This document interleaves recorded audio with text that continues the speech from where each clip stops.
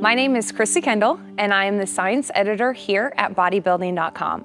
I received both my master's and my PhD in exercise physiology from the University of Oklahoma. In today's product review, we'll be discussing RSP Nutrition Regen BCAA. Regen BCAA contains 6 grams of the essential amino acids leucine, isoleucine, and valine, along with raw coconut water, electrolytes, citrulline malate, and bioperine. This product contains 3 grams of leucine, which is a key amino acid when it comes to regulating protein metabolism, promoting protein synthesis, and reducing protein breakdown. BCAAs can serve as an important energy source during exercise and may help to improve recovery of damaged muscle.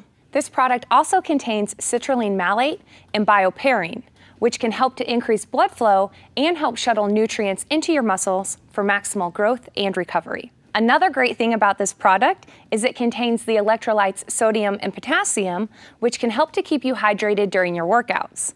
Most of us probably don't drink enough water during our workouts, which can increase your risk of becoming dehydrated.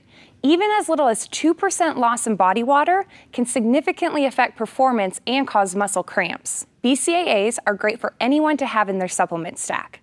On training days, you can sip on them between sets to give you extra energy during your workouts and to speed up your recovery. On non-training days, I like to add BCAAs to my water to make sure I'm getting enough fluid to keep me hydrated.